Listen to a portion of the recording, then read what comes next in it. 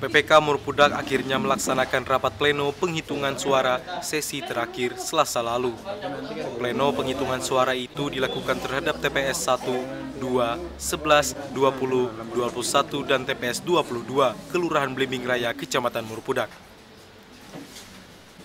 Sebelumnya, pleno penghitungan suara tingkat kecamatan bagi 6 TPS dimaksud sempat tertunda karena dilaporkan salah satu pasangan calon telah terjadi dugaan pelanggaran berupa kerusakan segel pada gembok kotak suara.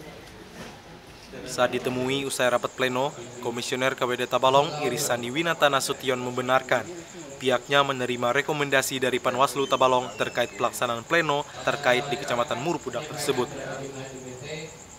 Dan itu perlu ditindaklanjuti oleh Panwas Kabupaten. Sehingga untuk itu maka enam kotak ini direkom oleh Panwas Kabupaten untuk ditunda plenonya.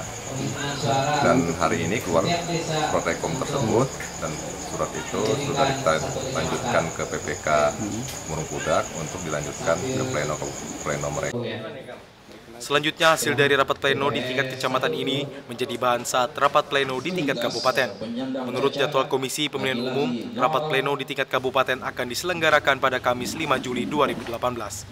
Rahmadi, TV Tabalong melaporkan.